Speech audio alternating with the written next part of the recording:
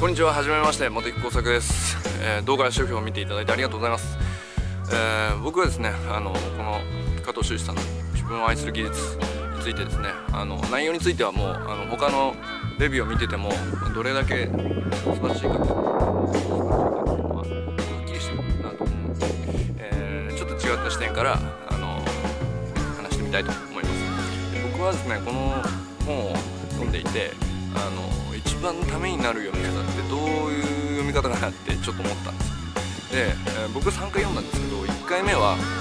あの自分が今まで避けてきたこととかあのそういったところが特に心に刺さる。でそれと同時にあもっとこういうふうに怪し方ってあるんだなって思ったんですけど2回目3回目って読んだ時にあのあこのシーンはあの人にプレゼントしたらいいんじゃないかとかこのシーンはあの人に渡したらいいんじゃないかっていうのでですね分が買ったの以外に今3冊買ってます。であのこういう読み方って普通の本なかなかあんまりないと思うんですけどあの例えば自分のあの子供のママ友パパ友で同じような悩みをこのシーンで抱えてるだろうなと思ったので1冊買った。のがあったんですよで別のシーンではあの教育小学校の自分の子供が小学校でお世話になってるわけですけど、まあ、2人いらっしゃるのでそこを思い浮かべてそういうシーンがあるということで。そうするとあの自分の具体的に悩んでるとかそういうところだけじゃなくて他の力にもなるっていうことを考えた時に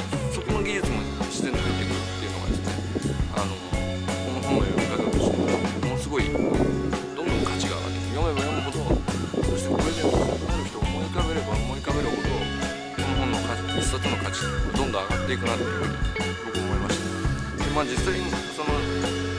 何人に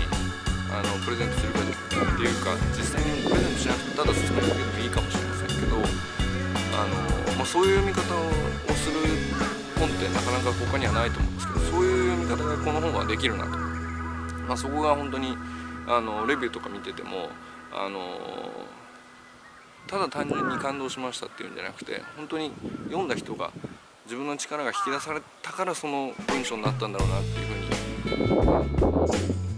にどれを読んでても感じるっていうのはですね。やっぱりそういう力のある本なんだなって思うんですよね、まあ、そんなことでですねちょっと内容とは別なんですけど、まあ、どう読んだらあのより価値が高まるかっていうことであのこんな手法にしてみました。ありがとうございました。